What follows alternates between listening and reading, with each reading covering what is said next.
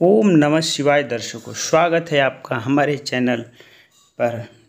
दोस्तों, मित्रों, आज हम आप सबको रक्षाबंधन से जुड़ी कुछ खास बातें बताएँगे, जिससे वीडियो के अंत तक बने रहिए, जिसमें राखी बांधने का मंत्र, राखी बांधते समय किस मंत्र का उच्चारण करें, चंदन लगाने समय किस मंत्र का उच्चारण करें, सिंदूर या रूरी तिलक लगाते समय किस मंत्र का उच्चारण करें लेकिन वीडियो के अंत तक बने रहिए दोस्तों, तभी आपको पूरी जानकारी मिल पाएगी।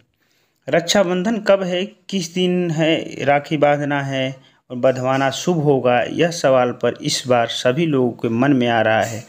दरअसल इस वर्ष रक्षाबंधन की तिथि को लेकर उलझन की स्थिति बनी हुई है। क्योंकि रक्षाबंधन श्रावण पूर्णिमा के दिन मनाने की परंपरा है और इस बार श्रावण यानी श्रावण पूर्णिमा दो दिन है। इसमें पहले दिन भद्रा भी लगा है, जिसमें राखी का त्यौहार मनाना अशुभ माना जाता है। ऐसे में ज्योतिषी मत और धार्मिक विषयों के जानकारों की राय क्या कहती है? किस दिन रक्षाबंधन मानना शुभ रहेगा? आइए जानते हैं। हिंदू धर्म में रक्षाबंधन के त्यौहार को भाई बहन के अटूट प्रेम और रिश्ते का प्रतीक माना जाता है। अब की बार रक्षाबंधन के दिन रवि नामक योग भी पड़ रहा है, जिसमें इस दिन का महत्व भी बढ़ गया है। रवि योग को ज्योतिष शास्त्र में अशुभ योगों के प्रभावों को नष्ट करने वाला बताया गया है। इस योग में राखी बांधने से रिश्ता को बुरी नज़र नहीं लगेगी और रिश्ता और भी गहरा और मज़बूत बनेगा। सावन मास की पूर्णिमा को श्रावण पूर्णिमा और कजरी पूनम भी कहा जाता है। बताया जाता है कि राखी को पहले रक्षा सूत्र कहा जाता था, लेकिन मध्यकाल में इसे राखी कहा जाने लगा। रक्षा सूत्र बांधने की परंपरा वैदिक काल से हो रही है। राखी के त्योहारों में भद्रा का विशेष ध्यान रखा जाता है, क्योंकि भद्रा काल में राखी नहीं बांधनी चाहिए। दरअसल धार्मिक पुष्टि धार्मिक दृष्टि से भद्र को अशुभ माना गया है, जो किसी भी शुभ काम में विघ्न पैदा करती है। आइए जानते हैं राखी बांधने का शुभ मुहूर्त और समय क्या है।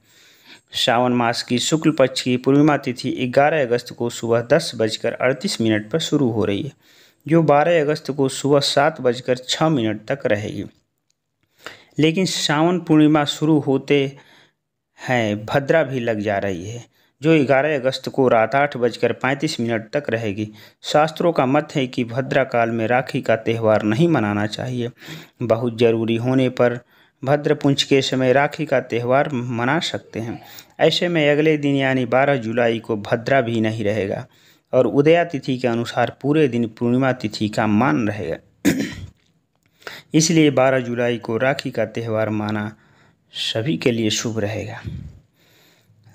12 जुलाई को दोपहर दो दो बजे तक आयुष्मान योग रहेगा, जिसमें भाई बहनों को दीर्घायु का आशीर्वाद देगी तो यह अधिक फलदायी होगा।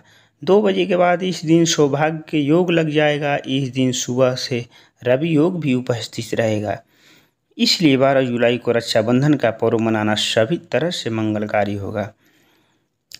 राखी बांधने के लिए भाई को हमेशा पूर्व दिशा और बहन को पश्चिम दिशा की ओर मुख करना चाहिए। ऐसा करने से आपकी राखी को देवताओं का भी आशीर्वाद प्राप्त होता है। राखी बंधवाते समय भाइयों को सिर पर रुमाल या कोई स्वच्छ वस्त्र होना चाहिए। भाई बहन की दाहिने हाथ की कलाई पर राखी बांधे और फिर चंदन पर रोली का तिलक लगाएँ। तिलक लगाने के बाद अक्षत लगाएँ और आशीर्वाद के रूप में भाई के ऊपर कुछ अक्षत के छींटे भी दें। इसके बाद दीपक से आरती उतार कर बहन और भाई एक दूसरे को मिठाई खिलाकर मुँह मीठा कराएँ। भाई वस्त्र, आभूषण, धन या और कुछ उपहार देकर बहन के सुखी जीवन की कामना करें।